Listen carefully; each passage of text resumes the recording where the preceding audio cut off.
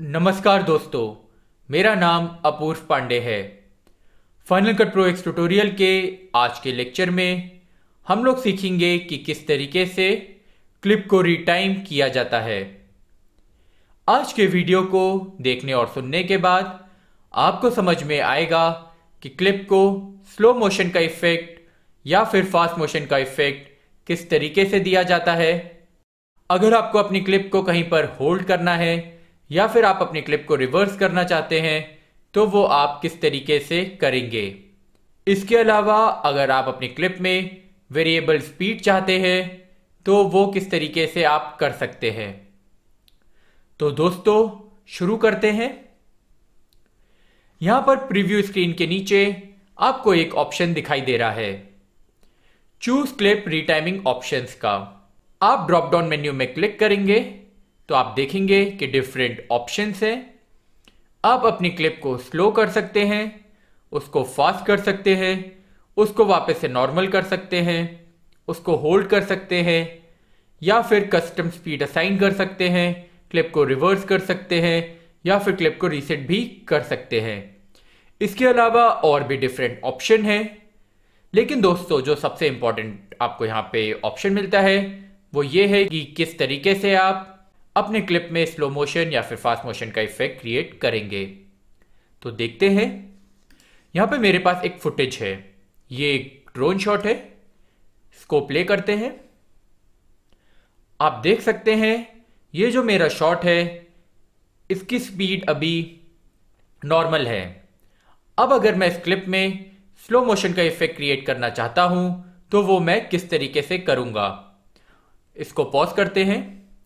सबसे पहले मैं क्लिप को सिलेक्ट करूँगा। आप देख रहे हैं येलो हाईलाइटेड एरिया है। फिर मैं यहाँ पे रिटाइमिंग ऑप्शंस में जाके अपने क्लिप को 50% से 25% से या फिर 10% से स्लो कर सकता हूँ। तो अगर मैं इसको 25% से स्लो करता हूँ तो यहाँ पर एक येलो हाईलाइटेड रिटाइम एडिटर का ऑप्शन आ चुका है, जहाँ पर यह बता रहा है कि आपकी क्लिप 25% से स्लो हो चुकी है। इसको प्ले करते हैं। आप देख सकते हैं, आपकी क्लिप अब काफ़ी स्लो प्ले हो रही है। इसका मतलब स्लो मोशन का इफ़ेक्ट क्रिएट हो चुका है। ऐसे ही अगर मैं अपने क्लिप को फास्ट मोशन का इफ़ेक्ट देना चाहता हूँ तो वो मैं कैसे दूँगा? इसको पॉज करते हैं। मेरी क्लिप ऑलरेडी सिलेक्टेड है। मैं रिटाइमिंग ऑप्शन में जाके यहाँ पर से अपने क्लिप को दो गुना, चार गुना, आठ गुना या फिर बीस गुना तक तेज कर सकता हूँ। तो अगर मैं इसको चार गुना तेज करता हूँ, इसको जूम आउट करते हैं थोड़ा।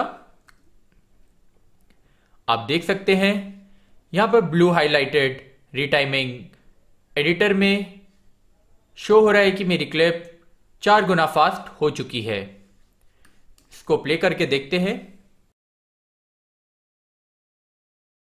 आप देख सकते हैं फास्ट मोशन का इफ़ेक्ट क्रिएट हो चुका है और जो काफ़ी स्मूथ है। अब अगर आप वापस से अपनी स्पीड को नॉर्मल लाना चाहते हैं तो आप वापस से रिटाइमिंग ऑप्शन में जाएँगे और यहाँ पे नॉर्मल में क्लिक कर देंगे। तो आप देख सकते हैं आपकी क्लिप वापस से नॉर्मल स्पीड में आ, आ गई है। दोस्तों ये सारे ऑप्शन आपको यहाँ पे ये जो रीटाइम एडिटर है, ये जो हाईलाइटेड एरिया है, यहाँ पर से भी मिलते हैं। आप यहाँ पे ड्रॉप डाउन मेन्यू में क्लिक करेंगे तो आप देख सकते हैं, यहाँ पर से आप अपने क्लिप को स्लो कर सकते हैं, उसको फास्ट कर सकते हैं, उसको वापस से नॉर्मल कर सकते हैं और कस्टम स्पीड भी असाइन कर सकते हैं। यहाँ पर आप देख सकते हैं, मैं अपनी स्पीड को कस्टम असाइन कर सकता हूँ। अगर मैं इसको 40 परसेंट से स्लो मोशन करना चाहता हूँ आप देख रहे हैं, यहाँ पे 40 परसेंट से मेरी क्लिप स्लो हो चुकी है। अब अगर मैं इसको फास्ट करना चाहूँगा, मैं वापस से ड्रॉप डाउन मेन्यू में इसको प्ले करते हैं। आप देख सकते हैं, अब क्लिप फास्ट हो रही है। दोस्तों, यहाँ पर कस्टम ऑप्शन में आपको रिवर्स क्लिप का भी ऑप्शन मिलता है। अगर आप अपनी वापस से क्लिप को रीसेट करना चाहते हैं तो आप यहाँ पर से भी अपने क्लिप को रीसेट कर सकते हैं। तो आपकी स्पीड वापस से नॉर्मल हो जाएगी। ये सारे ऑप्शन आपको यहाँ पे रीटाइमिंग ऑप्शन में भी मिलते हैं। चाहे तो आप यहाँ पर से अपने क्लिप को रिवर्स कर सकते हैं और स्पीड को रीसेट भी कर सकते हैं। और कस्टम का भी ऑप्शन यहाँ पे अवेलेबल होता है। इसको थोड़ा जूम इन करते हैं अपनी टाइमलाइन को। दोस्तों, वापस एक बार अपनी क्लिप को प्ले करते हैं। अब अगर मैं अपनी क्लिप को रिवर्स करना चाहता हूँ तो वो मैं किस तरीके से करूँगा? या तो मैं यहाँ पे रीटाइमिंग एडिटर में जाकर कस्टम से रिवर्स सेलेक्ट कर सकता हूँ, या फिर मैं रिटाइमिंग ऑप्शन में भी जाके यहाँ पर से भी अपनी क्लिप को रिवर्स कर सकता हूँ। इसको प्ले करते हैं।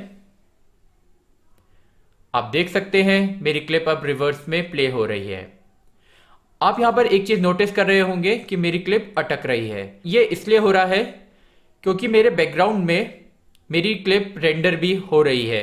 ये जो आप यहाँ पे व्हाइट डॉट्स देख रहे होंगे, ये क्या हो रहा है? ये शो कर रहा है कि बैकग्राउंड में रेंडरिंग चल रही है। तो फाइनल कट प्रो एक्स में आप रेंडरिंग के साथ साथ अपनी एडिटिंग भी कर सकते हैं। आप देख रहे हैं जिस तरीके से रेंडरिंग होती जा रही है, उस तरह से व्हाइट डॉट्स कम होते जा रहे हैं। इसको वापस से प्ले करते हैं। आप देख रहे हैं, अब काफ़ी स्मूथली मेरा क्लिप प्ले हो रहा है।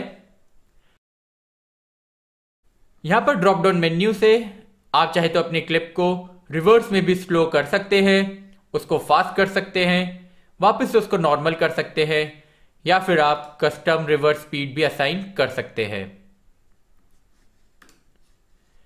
इसको वापस से रीसेट करते हैं।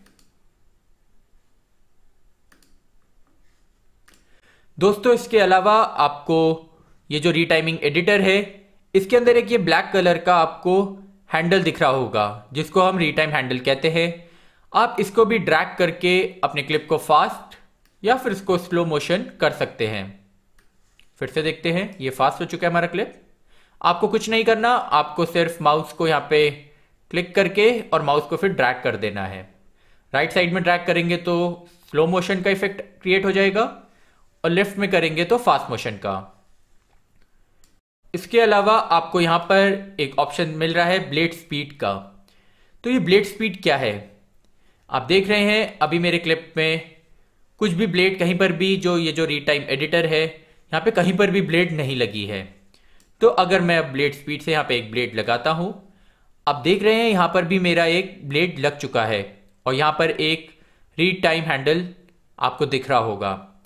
अब अगर मैं अपनी क्लिप को यहाँ तक स्लो करना चाहता हूँ और ब्लेड के बाद मैं इसको फास्ट करना चाहता हूँ तो मैं इसके लिए रीटाइम यहाँ पर से रीटाइम हैंडल में जाऊँगा और यहाँ पर से फास्ट कर दूँगा। तो ये जो ऑरेंज हाईलाइटेड एरिया है, यहाँ तक मेरी क्लिप स्लो होगी और ये जो ब्लू हाईलाइटेड एरिया है, उसके आगे आते ही ये फास्ट हो जाएगी। देखते हैं। अभी क्लिप स्लो है और यहाँ पर से मेरी क्लिप फास्ट हो चुकी है। इसको वापस से रीसेट करते हैं। आप चाहे तो ऑटोमेटिक स्पीड असाइन कर सकते हैं।